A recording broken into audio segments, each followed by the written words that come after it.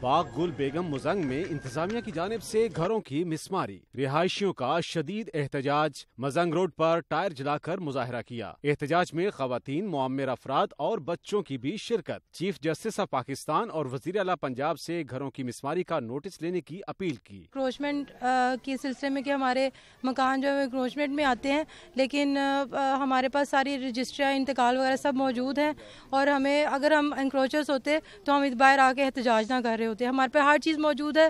یہ کیسا قانون ہے کہ رجسٹریاں بھی ہو رہی ہیں انتقال بھی ہو رہا ہے لوگ گھر خرید بھی رہے ہیں بیچ بھی رہے ہیں اور یہ نوٹس دے جا رہے ہیں۔ یہ جگہ جو ہے قبرستان کی ہے اور عدالت کو جا کے مس گائڈ کرتے ہیں۔ مظاہرین کا کہنا تھا کہ باغ گل بیگم کے رہائشیوں کا ایک سو اکسٹھ سالہ ریکارڈ نظر انداز کیا جا رہا ہے۔ باغ گل بیگم مزنگ کے کاغذات کی تصدیق کے حوالے سے کمیٹی تشکیل دی جائے۔ غریبوں کے گھر مسمار کرنے کے احکامات جاری کیے جا رہے ہیں جبکہ باثر شخصیات کے خلاف کوئی کارروائی نہیں کی جا رہی۔